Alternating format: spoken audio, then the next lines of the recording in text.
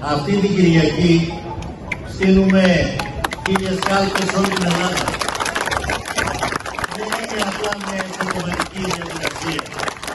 Θέλουμε αυτές οι κάλπες, αυτές οι χίλια, τα χίλια εκλογικά τμήματα να γίνουν χίλια ταχυδρομεία μέσα από τα οποία οι πολίτες θα στείλουν συστημένο το λογαριασμό σε αυτόν που μας οδήγησε σήμερα εδώ, στο Μαξίμου και στον Πρωθυπουργό. Η χώρα μας είναι πρωταθλήτρια στην ακρίβεια σε όλη την Ευρώπη. Η χώρα μας που την ίδια στιγμή είναι στο πάτο στους μισθούς τους εργαζόμενους και στο εισόδημα του μέσου πολίτη. Επί 9 μήνες, με σχροκέρδια, επί 9 μήνες ο λογαριασμός στον πολίτη.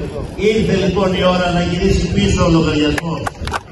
Θέλω να σας ευχαριστήσω για αυτή τη ζεστή, την ανθρώπινη Gracias. Mi